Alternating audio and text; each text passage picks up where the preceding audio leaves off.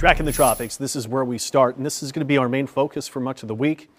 So we're, we're looking at this disturbance. That's what we call right now. Just it's going to be some energy that's off the east coast of Florida. It's a 20% chance of development over the next two days, the next three to seven days. As it moves into the Gulf, there's a low chance that we could develop into something stronger. Tropical depressions looking pretty likely at this time, but as for tropical storm or stronger, right now that's extremely low chance. A lot of storm activity South Florida and even the entire peninsula extending all the way up to South Carolina.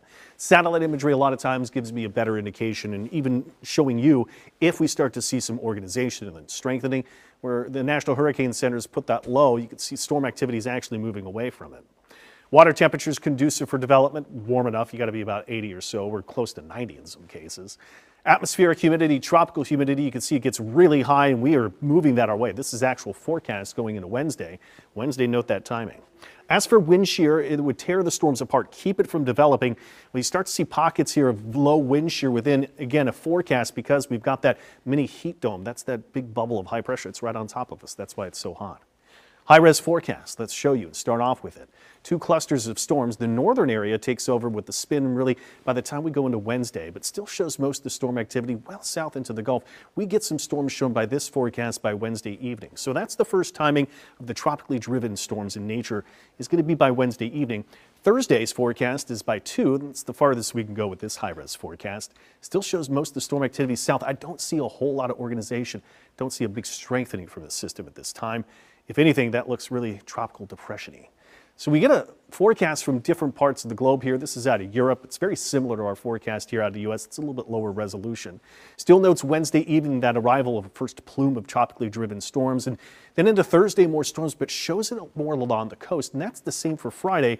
So really Thursday, Friday, my focus for the focus points for the very heaviest of rain Right now, Wednesday to Thursday morning, a level one threat of locally heavy rain and flooding. So when you see that as we're on the western edge of it and it extends east and then Thursday morning, that's the Wednesday evening time period.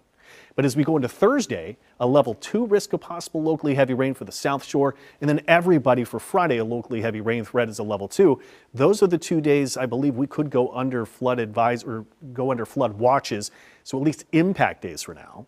Some of the best forecast data show at least maybe up to five inches of rain or more but centered along the coast. So Big takeaway, system nears by Wednesday, stormiest days Thursday, Friday, and that's where the watches are most likely. We could upgrade to alert days. Highest totals along the coast. If we do see our next storm, it's going to be named Dexter. Okay, we go into rainfall totals. Algiers was nearly three and a half with a recent storm that added to the rain that we just had. So officially that flood advisory that goes until 645, but really effectively that storm is long gone. Look at this, how quickly it forms, how quickly it fades. I don't hardly see anything here. There is a one stronger storm that's right over Nairn right now, and this is the heaviest rain we've got with the downpour, but we've got no any, we don't have any lightning with it is what I'm trying to get to. Thibodaux came in with at least a one and a half rainfall total with a couple of storms that arrived today.